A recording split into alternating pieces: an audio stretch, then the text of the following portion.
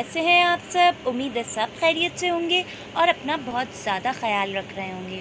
Welcome to my channel me and my little garden ये जो आपको सामने नज़र आ रहा है, ये है ग्लाडिया का फ्लावर। और ये बहुत ही खूबसूरत होता है और ये हमारे गार्डन में हमेशा ही खिलता रहता है। लेकिन देखें, इसका साइज़ कितना छोटा हो गया है। अगर आपके भी ये फ्लावरिंग प्लांट इस तरीके से मुरझाए से लग रहे हैं और इसके अंदर फ्लावरिंग से ज़्यादा इस तरीके सूखे सूखे से फ्लावर नज़र आ रहे हैं और इसकी स्टेम्स भी नीचे से सूख रही हैं तो ये वीडियो आपके लिए बहुत ही फ़ायदेमंद होने वाली है। तो इसलिए आप मेरी इस वीडियो को आखिर तक ज़रूर देखिएगा। इसके अंदर मैं आपके साथ शेयर करूँगी कि अगर आपके पास ये ग्लाडिया फ्लावरिंग प्लांट मौजूद है तो किस तरीके से आप इसको हर सीज़न में रीब्लूम करवा सकते हैं। और इतने कम फ्लावर्स की जगह बहुत सारे फ्लावर्स एक ही प्लांट से पा सकते हैं। तो इससे पहले मेरी एक रिक्वेस्ट है कि अगर आपने मेरे चैनल को सब्सक्राइब नहीं किया है तो प्लीज़ मेरे चैनल को सब्सक्राइब ज़रूर कर लिया करें और मेरी वीडियो को लाइक भी कर दिया करें।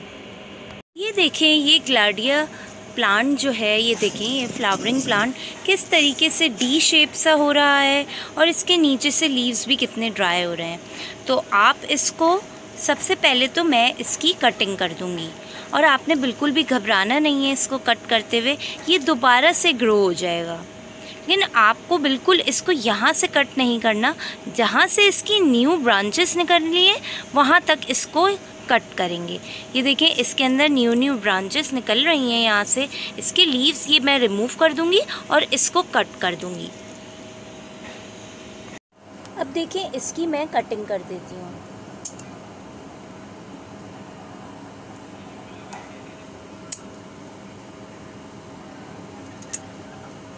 ये देखें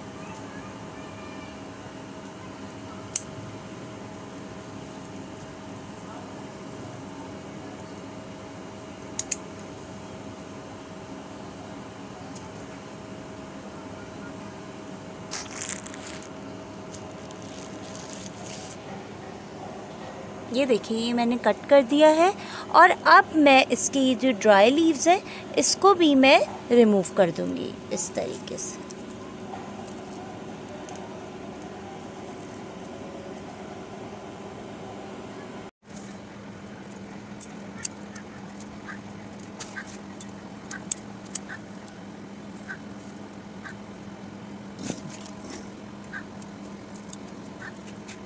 देखें, ये मैंने इनकी कटिंग कर दी है और आपको नज़र आ रहा होगा कि इसके नीचे की जो डेड ब्रांचेस थी, वो सारी रिमूव हो गई हैं और ये जो न्यू न्यू इसकी शूट्स निकल रही हैं, उनको मैंने रहने दिया है। और ये देखें, ये इसका वेस्ट ये बिल्कुल भी वेस्ट नहीं है। इसको हम अपने कंपोस्ट में यूज़ करेंगे और इसके अंदर देखें, आपको सीड पॉट्स भी नज़र आ रहे होंगे।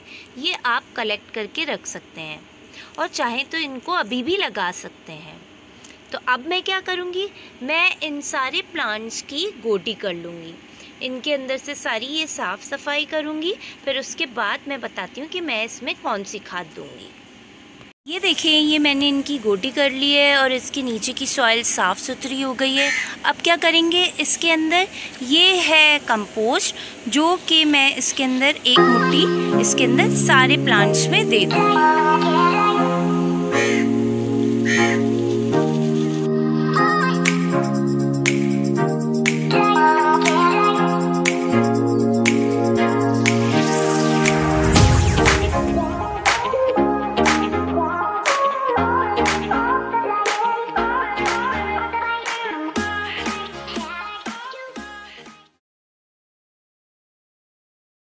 देखिए ये मैंने खाद देने के बाद इसमें पानी डाल दिया है और अब थोड़े ही दिनों में इसके अंदर नई नई ब्रांचेस निकलेंगी और नए नए फ्लावर्स उम्मीद करती हूँ आपको मेरी ये वीडियो अच्छी लगी होगी। चैनल को सब्सक्राइब करना ना भूलिएगा। मिलते हैं नेक्स्ट वीडियो में।